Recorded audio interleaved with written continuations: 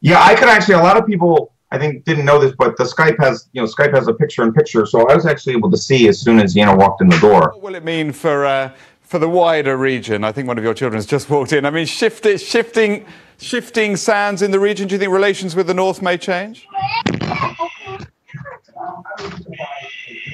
What, what's this going to be for the region?